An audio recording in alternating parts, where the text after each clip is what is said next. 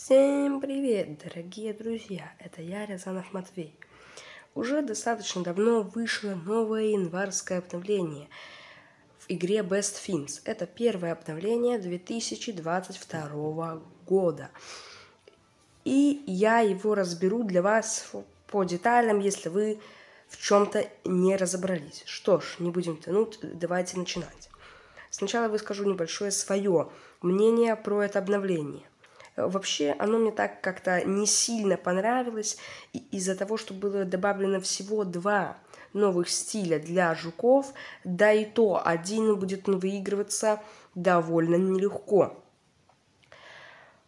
Так вообще обновление достаточно неплохое. И новый мир добавлен, и вот эти два стиля, и интересные события, много наград – но я люблю, когда там, например, 3-4 стиля добавляются за одно обновление, и ты их выигрываешь. А в этом всего одно за списки заданий, и вот второе за компасы. Как тогда выигрывался э, стиль фокусник доги. Э, значит, э, начну со стилей. Стили, первый из них это Капитан Квинси очень крутой стиль. Э, первое упоминание про который было где-то летом 2020 года, уже чуть ли не два года назад. Стиль очень крутой, прямо такой под Квинси. Да, я его очень-очень ждал, и, и вот наконец-таки он вышел. Только непонятно, почему в январе, а не там летом, когда, например, тепло но все равно стиль очень хороший, с пассивной анимацией, когда Квинси приподнимает повязку. И второй стиль это сосулька Эдвард. Этот стиль уже более в тему, как-то по-зимнему. Э, да, но он будет выигрываться за миссию с компасами, как фокусник Доги. И его, да, его нелегко выиграть. Не все, конечно, его выиграют, но я постараюсь выиграть. И и если вы его не выиграете, он в дальнейшем будет стоить 11 долларов. Поэтому я вам советую выигрывать его, ну, стараться выигрывать его в этом событии с компасами.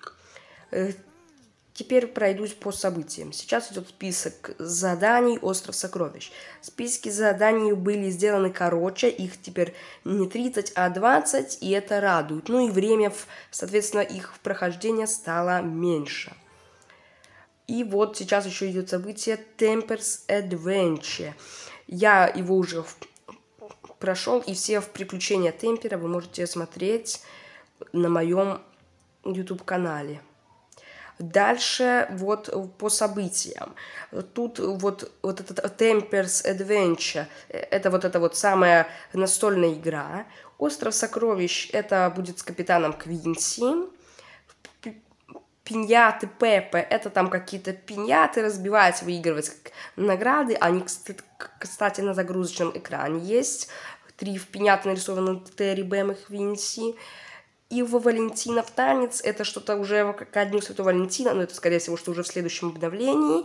То есть это или опять настольная игра с Торном, или вот это как э, диско, э, такая рулетка. Ну, в общем, что-то из этого.